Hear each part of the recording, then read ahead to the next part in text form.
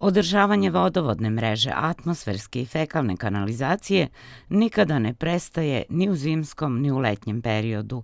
Osim toga, građevinska operativa preduzeća Vodovod angažovana je i na drugim poslovima.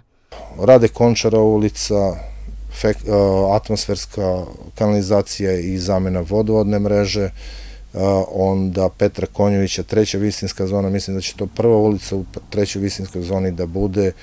koja će da se snadbeva iz letos završenog Jevrem Bunara kao pumpne stanice, koja će da, da dopumpava vodu da bi mogli da je izvučemo u trećoj visinskoj zoni.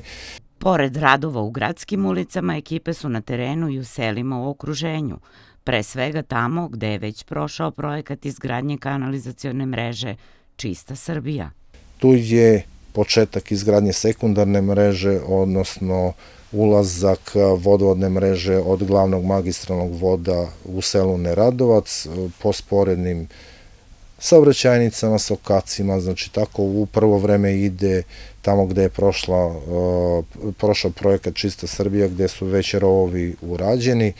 da tu smestimo i naše instalacije, tako da eto, nadam se i svako od građevinaca, ajde da ne kažem da se moli, nego se nada da će ova, ovo lepo vreme da potraje, da bi se što više posla završilo, tako i mi, da svaki slobodan trenutak i lepi dan iskoristimo da, da možemo još neki metar